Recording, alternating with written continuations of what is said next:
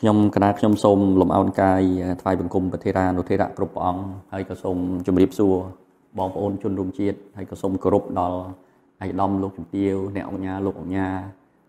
លោកបណ្ឌិតសាស្ត្រាចារ្យលោកគ្រូអ្នកគ្រូថ្ងៃនេះក្នុងនាមទូតសុចន្ទៈភាពជាអ្នកដឹកនាំក៏ដូចជាក្នុងនាមជា CEO របស់ក្រុមហ៊ុន Campaign ថ្នាំពណ៌ជាតិក៏ដូចជាក្នុងនាមជា ប្រធាន ក្រុមប្រឹក្សាភិបាលនៃមន្ទីរពេទ្យ កុមារអង្គរបាទសូមអនុញ្ញាតធ្វើការផ្ញើសារបាទនៅក្នុងការចូលរួមអបអរសាទរឆ្នាំថ្មី ឆ្នាំ2022នេះបាទជូនដល់ប្រធេរានុធិរៈគ្រប់ព្រះអង្គអស់លោកលោកស្រីបងប្អូនជនរួមជាតិទាំងនៅក្នុងប្រទេសក៏ដូចជានៅក្រៅប្រទេសហើយការពិតដោយសារតែខ្ញុំកណាខ្ញុំបាទបំពេញតួនាទីជា បាទជាអ្នកធ្វើកិច្ចការសង្គមផងហ្នឹងហើយ ដូច្នេះគឺថ្ងៃនេះខ្ញុំកណាខ្ញុំបាទសូម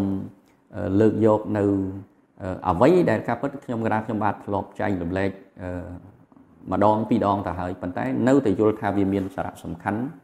នៅក្នុងការយកមកចែករំលែកជាថ្មីម្ដងទៀតហើយជាពិសេសគឺសម្រាប់ឆ្នាំ2022នេះតែម្ដងអញ្ចឹងអ្វីដែលខ្ញុំកណាខ្ញុំបានចង់ចែករំលែកហ្នឹងគឺស3សទី1គឺសុខភាព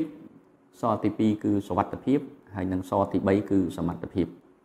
ខ្ញុំមានជំនឿយ៉ាងមុតមមថាបើសិនជាមនុស្សយើងគ្រប់រូបមានស3នេះ មានន័យថាយើងមានសុខភាពល្អយើងការពារខ្លួនយើងឲ្យមានសុវត្ថិភាពហើយនឹងយើងអភិវឌ្ឍខ្លួនយើងឲ្យមានសមត្ថភាពខ្ញុំគិតថាយើងមិនល្ងងទេ យើងមិនក្រទេយើងមិនលំបាកទេហើយយើងមិនត្រឹមតែ មិនអាចជួយខ្លួនឯងបានទេយើងអាចជួយក្រុមគ្រួសារយើងបានយើងអាចបង្កើតក្រុមគ្រួសារមួយដែលមានសុភមង្គលយើងអាចរួមវិភាគទាននៅក្នុងការជួយដល់សង្គមយើងនិងសង្គមជាតិរបស់យើងទាំងមូលហើយការពិតយើងក៏នឹងคล้ายខ្លួនជាពលរដ្ឋមួយដ៏ល្អសម្រាប់ពិភពលោកយើងផងដែរដូច្នេះនៅក្នុងសារឆ្នាំ2022នេះខ្ញុំកណាខ្ញុំបាទសូមរំលឹកឡើងវិញថាសូមឲ្យបងប្អូនថែទាំសុខភាពឲ្យបានល្អ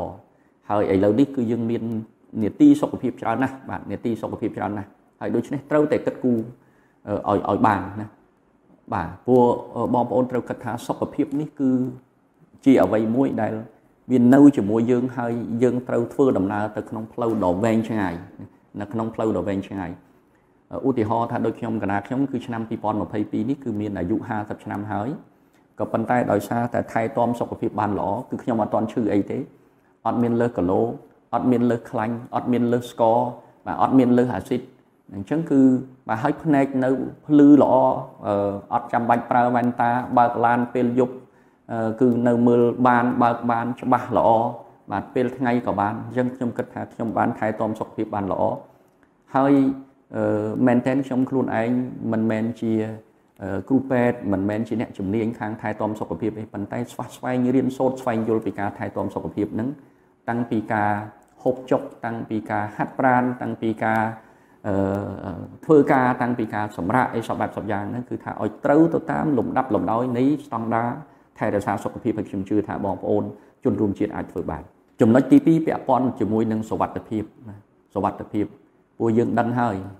គឺថាយើងឆ្នាំ2020 2021យើង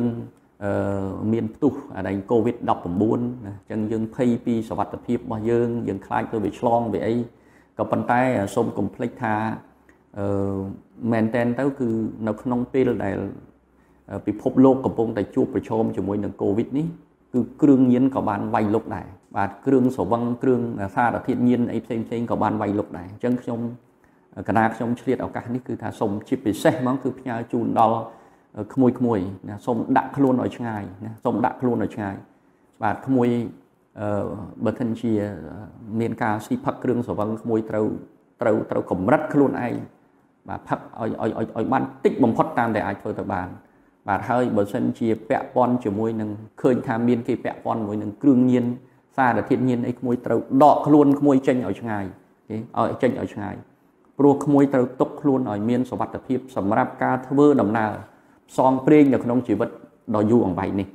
បាទដ៏យូរអង្វែងនេះឧទាហរណ៍ក្មួយទៅតែអាយុ10ឆ្នាំជាងឬ20ឆ្នាំជាងក្មួយនៅសល់ពេលវេលាច្រើនណាស់បាទបើយើងថែទាំសុខភាពយើងបានល្អយើងរក្សាខ្លួនយើងឲ្យមានសុវត្ថិភាពយើងនៅសល់ពេលអាចធ្វើដំណើរ60ឆ្នាំ70ឆ្នាំ80ឆ្នាំទៀតឯណោះចឹងនៅឆ្ងាយណាស់ក្មួយនៅឆ្ងាយណាស់ដូច្នេះមិនត្រូវគិតខ្លីទេបាទមិនត្រូវគិតខ្លីទេហើយដើម្បីគិតឲ្យបានវែងឆ្ងាយក្មួយត្រូវគិតគូរពីសុខភាព ក្មួយត្រូវគិតគូរពីសុវត្ថិភាពហើយបងប្អូនជនរួមជាតិមិនត្រឹមតែក្មេងៗទេយើងជាមនុស្សវ័យកណ្ដាលក៏មនុស្សវ័យចាស់ក៏យើងត្រូវតែគិតគូរពីសុខភាពនិងសុវត្ថិភាពនេះដែរណាពូពូជាក់ស្ដែងរឿងសុវត្ថិភាពពេលមានគ្រោះថ្នាក់កើតឡើងអត់បានរើសថាចាស់ឬក៏វ័យកណ្ដាលឬក៏ក្មេងទេហ្នឹងដូច្នេះយើងត្រូវតែចូលរួមនៅក្នុងការធ្វើម៉េចឲ្យសង្គមនេះមានសុវត្ថិភាពតាំងពីការសុវត្ថិភាពនៅក្នុងការបើកបរសុវត្ថិភាពនៅក្នុងការ ក្រែបគ្រឿងសវឹងគ្រប់គ្រងឲ្យបានហើយជាពិសេសឥឡូវសង្គមសេដ្ឋកិច្ចយើងចាប់ផ្ដើមបើកឡើងវិញហើយអញ្ចឹងកម្មវិធីមានច្រើនការដើរហើរក៏មានច្រើនដូច្នេះគឺថាយើងត្រូវគិតគូរពីរឿងសុវត្ថិភាពនេះឲ្យបានខ្លាំងមែនទែនជាចុងក្រោយគឺចំណុចទី3ពាក់ព័ន្ធមួយនឹងសមត្ថភាពសមត្ថភាពខ្ញុំកណាខ្ញុំសូមចង់បញ្ជាក់ថាការពិតគឺមហាវិទ្យាល័យគឺមាននៅក្នុងខ្លួនយើងហើយណាមហាវិទ្យាល័យមាននៅក្នុងខ្លួនយើងហើយបើសិនជាយើងចេះប្រើភ្នែករបស់យើង អានរឿងល្អមើលរឿងល្អអាននៅអ្វីដែលមានប្រយោជន៍មើលរឿងអ្វីដែលមានប្រយោជន៍នោះគឺចំណេះដឹងយើងនឹងកើនឡើងច្រើនណាស់មួយទៀតបើសិនជាយើងប្រើត្រចៀកយើងទាំងគូនេះស្ដាប់នៅរឿងល្អបាទដឹងឮនៅរឿងល្អតាមដានព័ត៌មានដែលល្អកុំយកអាព័ត៌មានណាដែលណាសម្រាមកុំស្ដាប់អារឿងដែលជិចចចោចអត់ប្រយោជន៍ហ្នឹងគឺថា ស្ដាប់នៅរឿងដែលមានប្រយោជន៍ឲ្យច្រើន គឺថាយើងនឹងកើនសមត្ថភាពតាមរយៈនៃការស្ដាប់ហើយការនិយាយស្ដីនឹងក៏យើងត្រូវគិតដែរណាបាទខាងវោហាសាសនឹងយើងត្រូវរៀនស្ដាប់អ្នកណាគេដែលគេនិយាយល្អរៀននិយាយតាមគេ បាទរៀនពោលពាក្យពីរោះពិសាពោលពាក្យមានន័យមានខ្លឹមសារមានប្រយោជន៍ពោលពាក្យដែលយើងក៏ចង់ស្ដាប់គេក៏ចង់ស្ដាប់ណានេះគឺជាចំណុចទី3ពាក់ព័ន្ធជាមួយនឹងការប្រើវោហាសាស ហើយនឹងទី4គឺថាចំោះយើងនឹងគឺថាត្រូវតែជាចំោះមួយគេហៅថាបរិស្ថាននិយមបង្កើតបរិយាកាសនៅជុំវិញខ្លួនយើងដែលមានដែលមានក្លិនក្លិនក្រអូបក្លិនល្អបាទណាដើម្បីយើងបានស្រង់ក្លិនល្អស្រង់ក្លិនស្រស់ស្រាយមានអុកស៊ីហ្សែនគ្រប់គ្រាន់បាទហ្នឹងគឺវាធ្វើឲ្យយើងមានប្រាជ្ញាស្មារតីយើងឃ្លាវខ្លាស្រស់បោះហ្នឹងជាចុងក្រោយនោះគឺ មហាវិទ្យាល័យទី5របស់យើងគឺពាក់ព័ន្ធជាមួយនឹងគឺដៃនិងជើងរបស់យើងនឹងយើងត្រូវតែជាមនុស្សដែលឧស្សាហ៍ព្យាយាមពីព្រោះបើសិនជាយើងខ្វះការឧស្សាហ៍ព្យាយាមយើងមានសុខភាពល្អមែនប៉ុន្តែយើងធ្វើការចាញ់គេយើងនៅមានសុវត្ថិភាពយើងធ្វើការចាញ់គេយើងមានសមត្ថភាពយើងធ្វើការចាញ់គេដោយសារតែយើងនៅខ្ជិលយើងតម្រុនយើងតំអក់យើងយើងខ្វះការខិតខំប្រឹងប្រែងបើដូច្នេះជាសង្ខេបមកវិញគឺ ពាក់ព័ន្ធជាមួយនឹងស3នេះខ្ញុំគិតថាវាជារឿងមួយដែលមានប្រយោជន៍ណាស់សម្រាប់មនុស្សគ្រប់រូបថាធ្វើយើងត្រូវគិតគូរពីសុខភាពរបស់យើងធ្វើម៉េចឲ្យមានសុខភាពល្អរស់ជាពលរដ្ឋដែលមានសុខភាពល្អគិតគូរពីសុខភាពរបស់យើងកុំពាក់ព័ន្ធមួយគ្រឿងញៀនកុំខ្សែបគ្រឿងស្រវឹងដល់ខូចសុខភាពឬកុំទទួលទានអាហារណារហូតដល់ខូចសុខភាពឬក៏កុំទៅប្រព្រឹត្តសកម្មភាពណារហូតដល់ខូចសុខភាពនៅពេលដែលយើងមានសុខភាពល្អ គឺវារួមចំណែកនៅក្នុងការរីកចម្រើននៅក្នុងជីវិតរបស់យើងនិងគ្រួសារយើងសង្គមជាតិយើងនិងទី3គឺពាក់ព័ន្ធជាមួយនឹងសមត្ថភាពនេះយើងសិក្សាដូចខ្ញុំបាទបានបញ្យល់មុននឹងអំបញ្ញមិញអញ្ចឹងពេលដែលយើងមានសមត្ថភាពគឺយើងអាចប្រើប្រាស់បានទាំងព្រមម្លងហើយអញ្ចឹងខ្ញុំជឿជាក់ថាយើងទាំងអស់គ្នានឹងខិតខំប្រឹងប្រែងធ្វើស3នេះឲ្យបានសម្រេចហើយខ្ញុំកណាខ្ញុំដែលជាអ្នកបញ្ជូនសារនេះក៏ខិតខំប្រឹងប្រែងធ្វើរឿងនេះដើម្បីផ្ដល់ភាពជាគំរូ បាទកុំឲ្យថាយើងគិញគក់លក់ថ្នាំស្រែងខ្លួនឯងធ្វើមិនបានចេះតែប្រាប់គេឲ្យធ្វើបាទអញ្ចឹងគឺថាខិតខំប្រឹងធ្វើខ្លួនឯងឲ្យបានហើយគិតគូរណាស់អំពីការអអភិវឌ្ឍសមត្ថភាពខ្លួនឯងសមត្ថភាពបុគ្គលិកសមត្ថភាពសមាជិកគ្រួសារសមត្ថភាពរបស់អ្នកដទៃអញ្ចឹងសម្រាប់នៅចុងបញ្ចប់នេះគឺខ្ញុំកណាខ្ញុំបាទសូមប្រគេនពរនិងជូនពរដល់ប្រធេរានុធេរៈគ្រប់អង្គបងប្អូនជនរួមជាតិ នៅក្នុងឆ្នាំ2022នេះឲ្យទទួលបានជោគជ័យគ្រប់ភារកិច្ចនិងមានសុភមង្គលនៅក្នុងក្រុមគ្រួសារគ្រប់ទិន្តិវិរាត្រីកំបីគ្លៀងគ្លៀនឡើយសូមក្រាបថ្វាយបង្គំលាសូមជម្រាបលាតើត្រូវមានជំនឿខ្លួនឯងបណ្ដើថាការពិតគឺយើងគ្រប់គ្នាគឺសុទ្ធតែអាចខ្លាយជាអ្នកមានហើយអញ្ចឹងថាទៅមិនបានយើងអាចខ្លាយទៅជាអ្នកមានអញ្ចឹងខ្ញុំខ្លួនឯងគឺខ្ញុំមានជំនឿយ៉ាងប្រកប ពីព្រោះខ្ញុំបានធ្វើខ្លួនពីអ្នកក្រលហេមលហាមកំព្រីកំព្រាមកមានថ្ងៃនេះអញ្ចឹងខ្ញុំជឿយ៉ាងមាំថាគ្រប់គ្នាគឺសុទ្ធតែអាចខ្លាយជាអ្នកមានអញ្ចឹងដើម្បីឲ្យយើងខ្លាយជាអ្នកមានសូមធ្វើរឿង6នេះទាំងអស់គ្នាបាទសូមធ្វើរឿង6បងប្អូនចាំរឿង6ទី1មានឱកាសរៀនរៀនឲ្យប្រកែមិនថាយើងនៅជាសិស្សសាលាឬមិនថាយើងកំពុងតែធ្វើការហើយឬក៏យើងកំពុងតែដឹកនាំគេទេ ត្រូវខំរៀនឲ្យប្រកែបើអ្នកដឹកនាំខំរៀនខាងដឹកនាំឲ្យប្រកែបើអ្នកគ្រប់គ្រងខំរៀនខាងគ្រប់គ្រងនឹងឲ្យប្រកែអ្នកធ្វើអ្វីមួយខំរៀនរឿងនឹងឲ្យប្រកែបើធ្វើជាអ្នកបកប្រែខំប្រឹងរឿងនឹងឲ្យប្រកែបើធ្វើជាអ្នកបច្ចេកទេសខំរឿងរៀននឹងរឿងបច្ចេកទេសនឹងឲ្យប្រកែណែបើសិនជាអ្នកដែលកំពុងតែរៀបចំថតវីដេអូនឹងខំធ្វើរឿងនឹងឲ្យប្រកែគេខំរៀនសូត្រឲ្យបានប្រកែនេះគឺជាចំណុចទី1ទី2 នៅពេលដែលយើងមានឱកាសធ្វើការខំធ្វើការឲ្យខ្លាំងយើងច្រើនតែចេះមានការងារធ្វើធ្វើតាមប្រាក់ខែហេ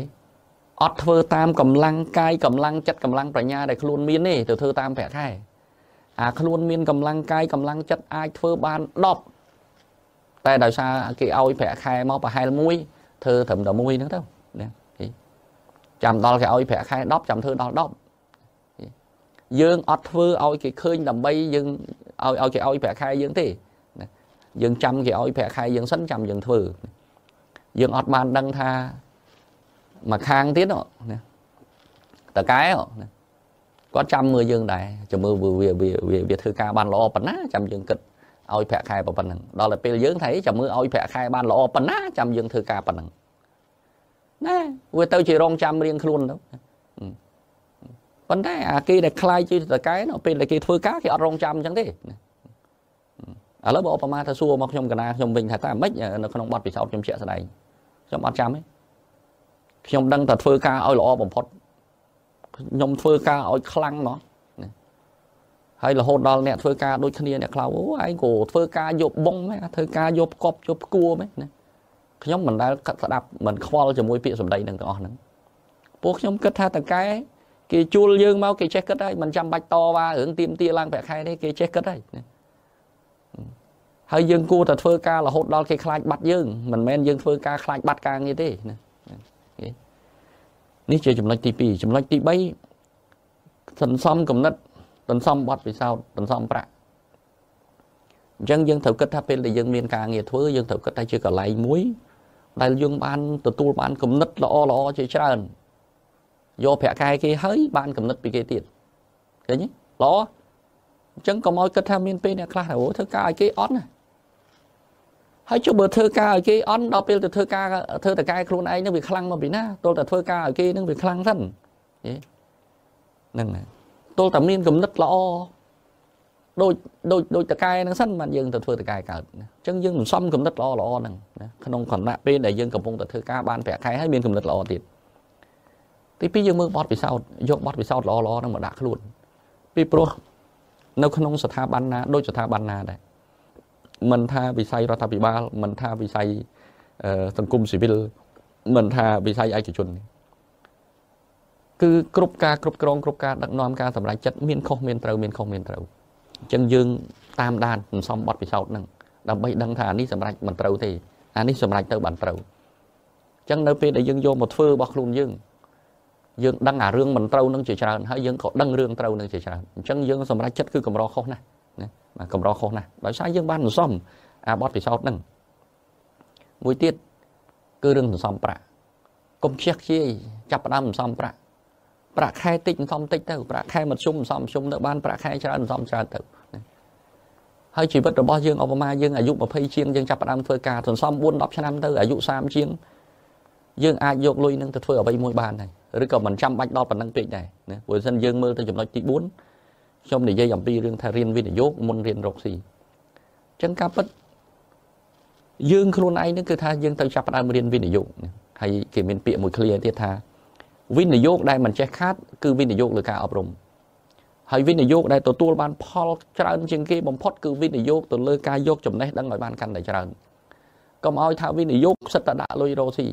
ដាក់លុយរៀនសូត្រក៏ជាការវិនិយោគមួយដ៏ល្អហើយមិនចេះខាតទល់តែសោះអត់ដែលចេះខាតទេឲ្យតែយើងដាក់លុយហើយយើងខិតខំប្រឹងប្រែងរៀនសូត្រឲ្យខ្លាំងតែបើយើងវិនិយោគជាមួយនឹងអ្នករស់ស៊ីក៏ជាការវិនិយោគមួយដែរកុំតន់រស់ស៊ីខ្លួនឯងមើលឃើញគេរស់ស៊ីប្រកែសុំផ្ញើលុយជាមួយគេទៅណាហើយការពិតរឿងនេះមិនមែនកើតឡើងថ្មីថ្មីទេកើតឡើងតាំងពីប្រហែលជា2500ឆ្នាំមុនសម័យ បដំប្រសងជាមួយនឹងសម័យពុទ្ធជាអង្គម្ចាស់របស់យើងដែរគឺ2500 2600ឆ្នាំមុនមាននគរមួយល្បីឈ្មោះថានគរបេប៊ីឡុនហើយគេគេតែអញ្ជើញសទ្ធិមួយដើម្បីឲ្យមកជួយអប់រំដល់ប្រជាពលរដ្ឋណាកលឹះមួយដ៏សំខាន់នៅក្នុងហ្នឹងគឺលោកសទ្ធិហ្នឹងគឺថាប្រាប់ណាប្រជាពលរដ្ឋបង្រៀនប្រជាពលរដ្ឋហ្នឹងគឺថាឲ្យចេះវិនិយោគជាមួយអ្នកដែលគេមានកំណត់រស់ស៊ីដាក់លុយជាមួយគេទៅណា ដាក់លុយជាមួយគេទៅនៅពេលដែលយើងដាក់លុយជាមួយគេអ្នកបកែរស់ស៊ីទៅណាអឺគេរស់ស៊ីទៅមានប្រាក់ចំណេញណាយើងក៏បានចំណេញតាមនឹងដែរហើយតិចតួចប៉ុណ្ណាក៏ដោយយើងគេហៅថាផ្ញើវាសនាជាមួយគេប៉ុន្តែផ្ញើជាមួយអ្នកបកែណាផ្ញើជាមួយអ្នកស្មោះត្រង់ផ្ញើជាមួយអ្នកល្អហើយថ្ងៃមុនពេលដែលខ្ញុំកណាខ្ញុំចែកម្លែកនៅក្នុងវេទិកាហ្នឹងមានអ្នកមកសួរថាធ្វើម៉េចបានដឹងថាគេបកែធ្វើម៉េចបានដឹងថាគេស្មោះត្រង់ស្រួលទេ បើយើងខំខ្លួនយើងឲ្យបកែយើងមើលអ្នកបកែយល់ហើយបើយើងខ្លួនឯងជាមនុស្សស្មោះត្រង់យើងដឹងថាអ្នកស្មោះត្រង់ហ្នឹងមិនខ្មិចហ្នឹងអញ្ចឹងបើអាហ្នឹងមាននៅក្នុងខ្លួនយើងគឺយើងដឹងហ្មងវាតម្លៃខាងក្រៅអត់ខុសតែបើក្នុងខ្លួនយើងអត់មានវាតម្លៃខាងក្រៅអត់ចេញទេពីព្រោះយើងអត់មានសុភវិនិច្ឆ័យក្នុងការវាតម្លៃគេផងយើងទៅវាតម្លៃមិនចេញកលឹះដែលមួយទៀតគឺចេះល្មមល្មមកុំតន់ធ្វើចេះហេហ្នឹងហើយអញ្ចឹងអឺ ត្រង់ចំណុចថាមនុស្សគ្រប់គ្នាសុទ្ធតែអាចខ្លាយជាអ្នកមានហ្នឹង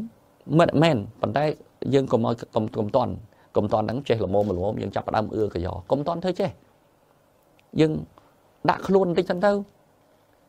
រៀនសូត្រពីគេសិនទៅជួនកាលចូលក្នុងចំណោមហ្នឹងបើទោះបីជា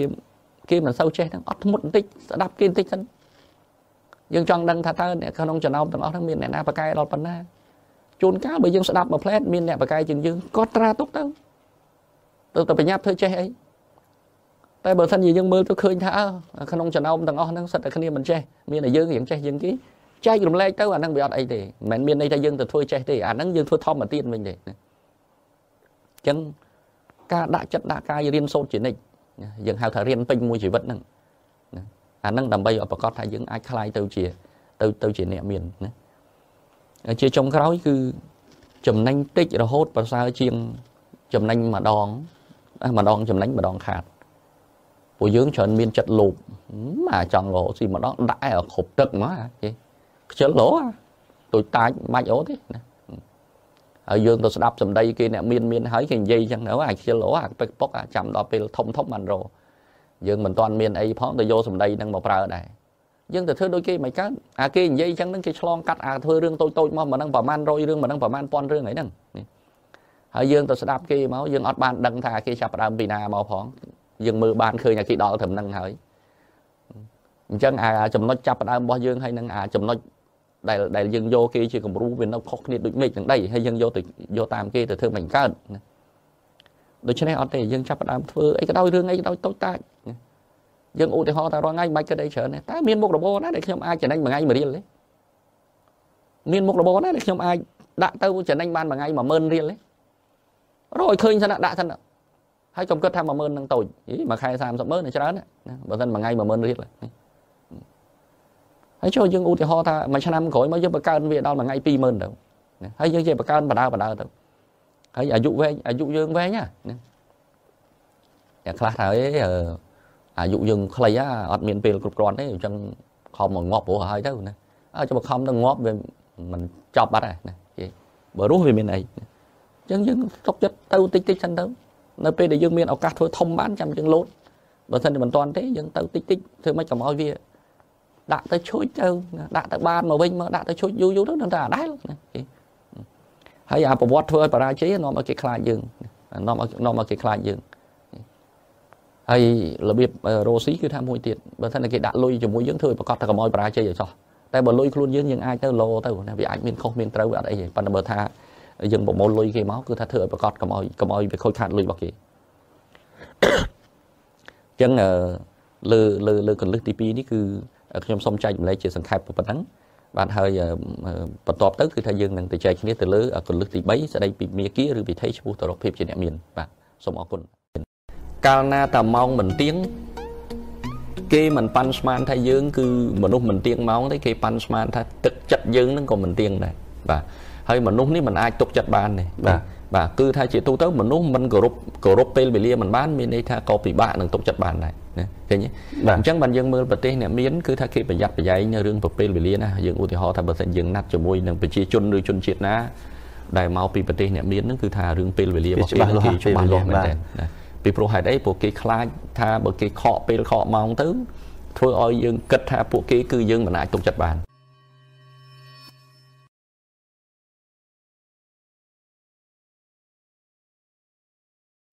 ខ្ញុំគិតថានេះគឺថាជាចំណុចមួយដែលនឹងប្រើបានជាប្រយោជន៍ហើយសូមសូមឲ្យបងប្អូនដែលបានស្ដាប់នេះហើយយើងយកវាទៅបាទយកវាទៅប្រើឲ្យបានជាប្រយោជន៍ទាំងអស់គ្នាបាទហើយខ្ញុំកាពិតខ្ញុំខំព្យាយាមយកវាមកធ្វើឲ្យអនុវត្តប្រចាំថ្ងៃមកនេះហើយក្នុងការអនុវត្តតែរយៈពេលប្រហែលជា2ឆ្នាំចុងក្រោយនេះខ្ញុំឃើញថាខ្ញុំធ្វើ2ឆ្នាំចុងក្រោយនេះល្អប្រសើរជាងខ្ញុំបានធ្វើ20ឆ្នាំកន្លងមកទេហ្នឹងបាទ អញ្ចឹងទី1គឺវិន័យចំពោះមនុស្សបាទណាវិន័យចំពោះមនុស្សគេអឺវិន័យចំពោះមនុស្សខ្ញុំបង្ហាញកលឹះ3បាទថាតើស្អីទៅជាវិន័យចំពោះមនុស្សអឺខ្ញុំបង្ហាញកលឹះ3ទី1ចំណុចទី1កលឹះទី1គឺបើសិនជាយើងមានមនុស្សដែលមានវ័យចាស់ជាងយើងបាទឬក៏មានឋានៈធំជាងយើងបាទវ័យចាស់ជាងយើងឋានៈធំជាងយើងគឺសូមឲ្យបងប្អូន ផ្ដល់នៅការគោរពរបស់គោរពដល់គាត់បាទគេបាទត្រូវនិយាយស្ដីត្រូវប្រុងប្រយ័ត្នធ្វើកាយវិការអីត្រូវប្រុងប្រយ័ត្នបើយើងនិយាយគេហៅថាកាយវាចាចិត្តណាគឺមានន័យថាយើងត្រូវតែធ្វើការគោរពដោយកាយការគោរពបាទនឹងហើយយើងត្រូវតាំងចិត្តគោរពគាត់អូខេបាទតែយើងនិយាយស្ដីត្រូវខ្មែរយើងថាឲ្យដឹងទៀបដឹងខ្ពស់បាទហ្នឹងគេអឺមិនមែនមានន័យថាជួនកាលអាងតែគេកម្មករយើងយើងទៅកែអាគេអាយុច្រើនជាងយើងផងយើងវត្តអាវត្តមឹងអញ្ចឹងមកគឺ វាធ្វើឲ្យជួនកាលគាត់មិនហ៊ានជាមួយយើងហើយគាត់ក៏មិនស្អប់យើងដែរណាប៉ុន្តែអ្នកដតីដែលគេដឹងថាយើងនឹងតែគេហៅអីភាសាខ្មែរយើងគេហៅតែផាត់សបកណាបាទណាបាទបើមិនគេដឹងថាយើងជាមនុស្សដែលផាត់សបកអញ្ចឹងគេអត់ចូលចិត្តយើងទេពីព្រោះយើងគេហៅថាអឺមិនស្គាល់ចាស់ស្គាល់ក្មេងអូខេហ្នឹងទី2វិន័យចំពោះមនុស្សទី2គឺថាអ្នកដែលមានឋានៈស្មើស្មើគ្នាមានមានវ័យស្មើស្មើគ្នា គឺនៅពេលដែលយើងធ្វើអ្វីមួយយើងត្រូវគិតថាយើងចង់បានផលប្រយោជន៍មិនចឹងបាទតើអ្នកម្ខាងទៀតចង់បានផលប្រយោជន៍អត់ណាយេអញ្ចឹងបើសិនជាបញ្ជាដើម្បីកុំឲ្យគេស្អប់យើងគឺយើងត្រូវរកយ៉ាងម៉េចឲ្យរករកផលប្រយោជន៍រួមមកឃើញចែកផលប្រយោជន៍បាទរកផលប្រយោជន៍រួមមកឃើញបាទឬក៏យើងប្រើភាសាមួយយ៉ាងទៀតថា អឺអាចថាឈ្នះឈ្នះឬក៏ថាចំណេញចំណេញអូខេហ្នឹងហើយបាទហ្នឹងហើយបើឈ្នះឈ្នះទាំងអស់គ្នាបាទហ្នឹងអូខេហ្នឹងហើយបើមិននិយាយថានៅក្នុងដែលយុទ្ធសាស្ត្រចរចាផ្សេងផ្សេងយើងនិយាយថា win win បើនៅក្នុងអាជីវកម្មយើងថា profit profit ចែកចែកប្រយោជន៍គ្នាចំណេញចំណេញបាទអូខេហ្នឹងឬក៏ benefit benefit មានន័យថាផលប្រយោជន៍ផលប្រយោជន៍អញ្ចឹងយើងត្រូវរកចំណុចកណ្ដាលមួយ ដើម្បីឲ្យមានផលប្រយោជន៍ទាំងអស់គ្នាហើយបើសិនជាយើងពិតទៅពីច្បាមរកទៅផលប្រយោជន៍គឺមានន័យថាយើងនឹងប៉ះការប្រកួតប្រជែងនឹងកាន់តែធំឡើងធំឡើងគេតែបើសិនជាយើងអាចរកផលប្រយោជន៍រួមបានយើងសហការគ្នាអញ្ចឹងបាននៅក្នុងទីផ្សាររាល់ថ្ងៃគេអត់និយាយអំពីរឿងគេហៅថាការប្រកួតប្រជែងទេអូខេហ្នឹងគេមិននិយាយពីដៃការប្រកួតដៃគូប្រកួតប្រជែងនេះឥឡូវនេះគេនិយាយពីដៃគូសហការវិញបាទគេហ្នឹងហើយសូម្បីតែក្នុងបណ្ដាប្រទេសនៅក្នុងពិភពលោករាល់ថ្ងៃយើងគិតមើលប្រទេសណាក៏ត្រូវការធ្វើសេដ្ឋកិច្ចដើម្បីឲ្យសេដ្ឋកិច្ចរបស់ខ្លួនរីកចម្រើន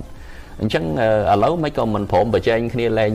លែងគិតទៅឆ្លោះគ្នាទៅមិនក៏ចាំបាច់ប្រទេសទាំងអស់នឹងសហការគ្នាទៅអីបាទព្រោះពោះសហការវាសំខាន់ជាងការប្រកួតប្រជែងបាទអញ្ចឹងយើងត្រូវចំណុចទី2គិតពីផលប្រយោជន៍ទី3អឺធម្មតាមនុស្សមានលំដាប់មួយទៀតដែលគាត់មានអាយុតិចជាងយើងគាត់អាចជាកូនចៅយើងបាទហ្នឹងគាត់អាចពឹងយើងណាដូច្នេះគឺយើងចង់ធ្វើជាអ្នកដឹកនាំមនុស្សបាទយើងត្រូវគិតថាអឺ យើងត្រូវផ្ដល់នៅសេចក្តីស្រឡាញ់នៅផ្ដល់ការនៅជួយសង្គ្រោះផ្ដល់នៅការលើកទឹកចិត្តឲ្យគេណាបាទណាអញ្ចឹងគឺអានឹងគឺថាវិន័យ3ចំពោះមនុស្សអឺបន្ទាប់មកយើងមានវិន័យមួយទៀតបាទវិន័យទី2គឺយើងហៅថាវិន័យចំពោះពេលវេលាបាទណាវិន័យចំពោះពេលវេលាខ្ញុំអាចនិយាយបានថាអឺដូចជាខ្ញុំណាត់ជាមួយនឹងជីណាចុះមកនៅក្នុងកម្មវិធីនេះ ខ្ញុំគិតថាតាំងពីណាត់ខ្ញុំចូលមកក្នុងទូទូបាយ័ននេះខ្ញុំមិនដែលខកម្ដងទេហើយខ្ញុំមិនដែលមកយឺតម្ដងទេបាទបាទជាការពិតបាទខ្ញុំមិនដែលលោយឺតម្ដងទេនេះបង្ហាញថាជាអតចរិតនៃបាទគឺខ្ញុំប្រកាន់បាទខ្ញុំប្រកាន់វិន័យចំពោះពេលវេលានេះណាដោយសារយ៉ាងម៉េចបើសិនជាគ្រាន់តែយើងណាត់លើកណាក៏យឺតលើកណាក៏យឺតមានន័យថាកាលណាតាម៉ោងមិនទៀង គេមិនប៉ាន់ស្មានថាយើងគឺមនុស្សមិនទៀងម៉ោងទេគេប៉ាន់ស្មានថាទឹកចិត្តយើងនឹងក៏មិនទៀងដែរបាទហើយមនុស្សនេះមិនអាចទុកចិត្តបានទេបាទបាទគឺថាជាទូទៅមនុស្សមិនគោរពគោរពពេលវេលាមិនបានមានន័យថាក៏ពិបាកនឹងទុកចិត្តបានដែរណាឃើញទេអញ្ចឹងបានយើងមើលប្រទេសអ្នកមានគឺថាគេប្រយ័ត្នប្រយែងនៅរឿងពេលវេលាណាយើងឧទាហរណ៍ថាបើសិនយើងណាត់ជាមួយនឹងប្រជាជនឬជនជាតិណាដែលមកពីប្រទេសអ្នកមានហ្នឹងគឺថារឿងពេលវេលារបស់គេគេច្បាស់លាស់មែនទេ ពីព្រោះហេតុអីព្រោះគេខ្លាចថាបើគេខកពេលខកម៉ោងទៅធ្វើឲ្យយើងគិតថាពួកគេគឺយើងមិនអាចទុកចិត្តបានស្មើនឹងការមិនឲ្យតម្លៃហ្នឹងហើយមិនមិនទុកចិត្តបានកាលណាយើងទុកចិត្តលែងបានយើងលែងឲ្យតម្លៃឯមនុស្សមិនចឹងទេបាទរឿងអីយើងរឿងអីដែលយើងទៅផ្ដល់តម្លៃឲ្យមនុស្សដែលយើងមិនអាចទុកចិត្តបានហើយរឿងអីដែលយើងទៅផ្ដល់តម្លៃឲ្យមនុស្សដែលខ្ជះខ្ជាយលើពេលវេលារឿងអីយើងទៅឲ្យតម្លៃទៅលើមនុស្សដែលដែលបំផ្លាញពេលវេលារបស់យើងឃើញទេបាទអញ្ចឹងគឺថាដែលវិន័យចំពោះពេលវេលានេះគឺល្អ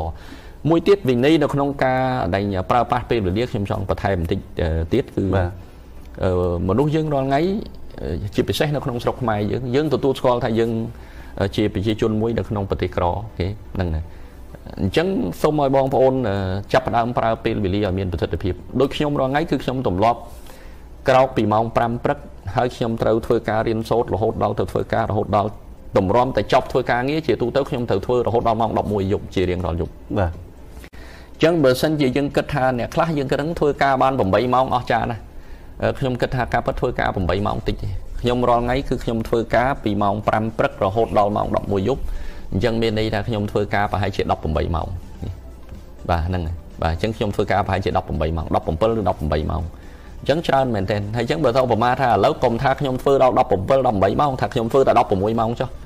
បើសិនជាបងប្អូនធ្វើការតែ8ម៉ោងក្នុងមួយថ្ងៃមានន័យថាបងប្អូនខ្ញុំធ្វើតែមួយឆ្នាំទៅបងប្អូនធ្វើ2ឆ្នាំបានស្មើខ្ញុំមិនអញ្ចឹងទេបាទហើយអ្នកខ្លះគិតទៀតថាមនុស្សឆ្លាតគេមិនចាំបាច់ទៅធ្វើការខ្លាំងចឹងអីច្រើនម៉ោងចឹងឯងបាទគេអ្នកឆ្លាតគេធ្វើការតែបន្តិចបន្តិចគេយកលុយមិនអស់បាទអឺខ្ញុំពិតជាមានការសោកស្ដាយមែនបើសិនជាផ្នែកកំណត់នឹងនៅមានបាទពីព្រោះការពិត មនុស្សដែលឆ្លាតឆ្លាតដែលប្រកែប្រកែនៅក្នុងโลกនេះគឺសិតតែចេញមកពីការលះបង់ពេលវេលាក្នុងការធ្វើការហ្នឹងខ្លាំងសម្បើមណាស់បាទមិនដែលឃើញអ្នកណាដែលល្បីហើយស្រាប់តែទៅធ្វើការតែ5 6ម៉ោងទេខ្ញុំឧទាហរណ៍ថាឥឡូវអ្នកបង្កើត Facebook ឲ្យយើងប្រើរាល់ថ្ងៃនេះគេបាទសិតតែអ្នកធ្វើការលើកពី10ម៉ោងអ្នកបង្កើត iPhone ដែលយើងប្រើនេះធ្វើការសឹងតែមិនសឹងតែមិនដេកបាទហ្នឹងបាទអ្នកបង្កើតរថយន្តឲ្យយើងជិះរាល់ថ្ងៃដែលបង្កើតម៉ូតូយកមកលក់ឲ្យយើងរាល់ថ្ងៃនេះធ្វើការសឹងតែមិនដេកគេ បាទអ្នកដែលបង្កើតកាមេរ៉ាដែលមកថតរូបយើងកំពុងតែចូលនៅក្នុងស៊ូឌីយ៉ូនៅពេលនេះគឺសិតតែសិតតែធ្វើការចូលរួមមួយលោកសម្បត្តិបន្តិចមានជាទស្សនៈទានគេលើកខ្លះថាដូចជាអ្នកមានអ្នកក្រអ្នកក្រគាត់ថាបើមានលុយចាយច្រើនចាយខ្ជះខ្ជាយបើម្នាក់មានគឺថាកាន់តែមានកាន់តែកាន់តែចាយរដ្ឋបတ်ដោយសារអីគេបើគេមិនរដ្ឋបတ်ចឹងគេមិនខ្លាចជាអ្នកមានបានអានោះគេគេគេប្រយ័ត្នប្រយែង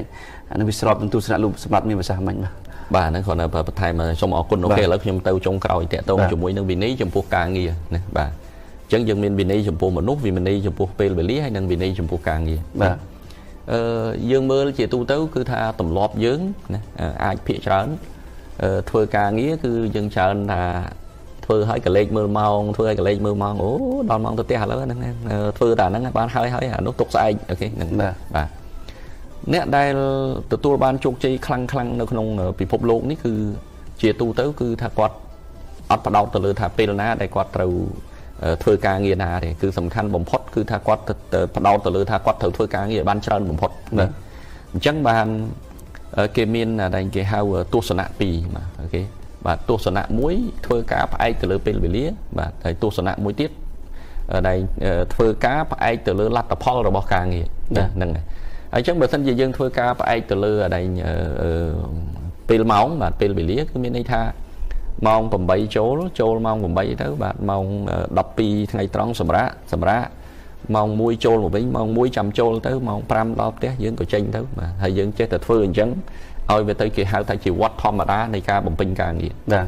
តែនៅពេលដែលយើងផ្ដោតណាផ្ទុយទៅវិញបើមិនជាយើងផ្ដោតទៅលើអានេះគេហៅថាការធ្វើការងារយកផលជាធំវិញហ្នឹងហើយ យើងអាចអង្គុយធ្វើការងារដោយមិនខ្វល់ថាវាម៉ោងប្រហែលណាហើយបើសិនជាការងារហ្នឹងផ្ទះដែលការិយាល័យហ្នឹងវានៅឆ្ងាយពីផ្ទះរបស់យើង បាទយើងអាចវិចខ្ចប់ការងារមួយចំនួនយើងយកមកធ្វើការងារនៅផ្ទះរបស់យើងយើងអង្គុយធ្វើទាំងយប់ហ្នឹងឲ្យហើយព្រឹកព្រលឹមឡើងយើងយកការងារហ្នឹងទៅចាត់ចែងឲ្យកូនចៅយើងព្រឹបព្រឹបព្រឹបព្រឹបហើយគេចាប់ផ្ដើមមានការងារធ្វើភ្លាមហើយយើងចាប់ផ្ដើមតាមពួកគេ ខ្ញុំខ្ញុំចង់ប្រើឃ្លាចុងក្រោយមួយបាទខ្ញុំទៅទៅបង្រៀនកាលពីសប្កាលពីខែមុនទៅខាងនៃសមាជិករបស់ CEO Master Club ដែរណាខ្ញុំថាយើងអ្នកដឹកនាំដែលមានប្រសិទ្ធភាព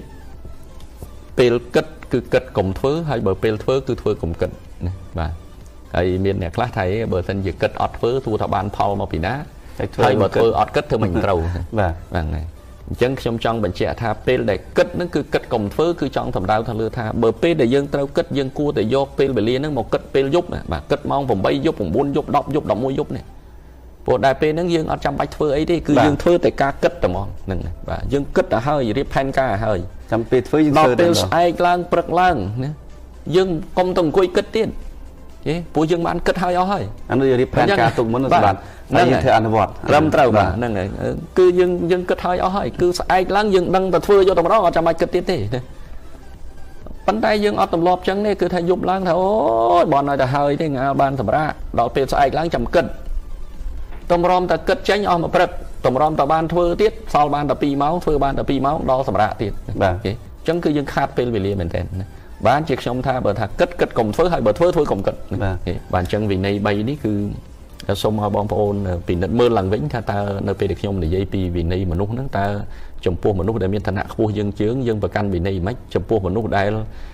មានឋានៈបដំប្រសងជាមួយយើងអាយុបដំប្រសងមួយយើងយើងប្រកាន់វិន័យយ៉ាងម៉េចចំពោះអ្នកដែលមានឋានៈតូចទាបជាងយើងអាយុតិចជាងយើងតើយើងប្រកាន់វិន័យយ៉ាងម៉េចហើយចំពោះពេលវេលាគឺខ្ញុំផ្ដល់ជាកលឹះថា យើងត្រូវខិតខំប្រឹងប្រែងធ្វើការឲ្យលើសពី8ម៉ោងបើយើងចង់ជោគជ័យអូខេ ហើយឈប់ជឿថាអ្នកណាថាមនុស្សឆ្លាតធ្វើការងារតិចគេយើងទៅមើលទៅអ្នកមាននិងអ្នកធំទាំងអស់គឺធ្វើការខ្លាំងណាស់ជិបាទហ្នឹងបាទធ្វើការខ្លាំងណាស់ប៉ុន្តែយើងអត់ដឹងថាគេធ្វើខ្លាំងប៉ុណ្ណាយើងស្មានពីក្រៅឃើញភាពសនុកសុខស្រួលរបស់គេយើងហាក់ដូចជាឃើញគេធ្វើការតិចណាស់ប៉ុន្តែការពិតគេធ្វើការខ្លាំងគេខំណាស់គេមានគេមានទ្រព្យសម្បត្តិហើយប៉ុន្តែយើងមនុស្សយើងគឺថាយើងឈានចូលមកវិន័យទី3ចំពោះការងារការងារយើងចែកទៅជាអាដែង2ធំធំណា គឺការគិតហើយនិងការធ្វើបាទណាការគិតនិងការធ្វើយើងថាការធ្វើជាការលំបាកណាក៏ប៉ុន្តែការពិតពិបាកបំផុតគឺការគិតបើសិនជាយើងគិតមិនត្រូវយើងធ្វើត្រូវទេបាទបាទបើសិនជាយើងគិតអន់មកយើងធ្វើបានល្អទេមិនចឹងទេអញ្ចឹងគ្មានអ្វីពិបាកជាងការគិតទេអញ្ចឹងមានពេលខ្លះយើងមើលទៅគាត់ដូចជាស្រួលណាស់ប៉ុន្តែគាត់គិតស្ទើរតែបែកគូក្បាលហើយមិនចឹងគេនឹងតម្រាំតែបានការងារយើងធ្វើឲ្យបានផលល្អហ្នឹងបាទ ដូច្នេះគឺយើងត្រូវប្រកាន់វិន័យទាំងអស់នេះឲ្យបានល្អ